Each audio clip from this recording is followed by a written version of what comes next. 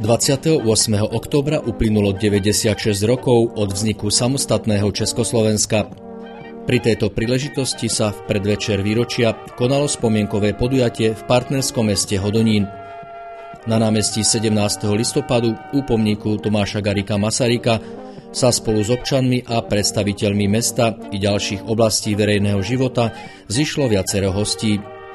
Pozvanie okrem iných prijali senátor parlamentu Českej republiky Zdenek Škromach i senátor a námestník hejtmana Juhomoravského kraja Stanislav Juránek.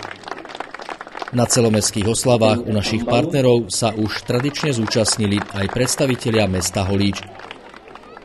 Predovšetkým historický význam vzniku prvej samostatnej Československej republiky pripomenul v jednom z príhovorov aj primátor Zdenko Čambal.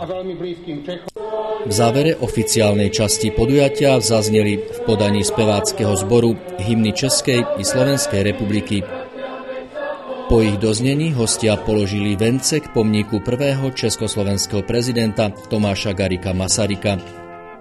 Po skončení pietného aktu sa účastníci presunuli v Lampionovom sprievode ulicami mesta na Masarikovo námestie, kde oslavy vyvrcholili slávnostným ohňostrojom. Ja, ja, ja,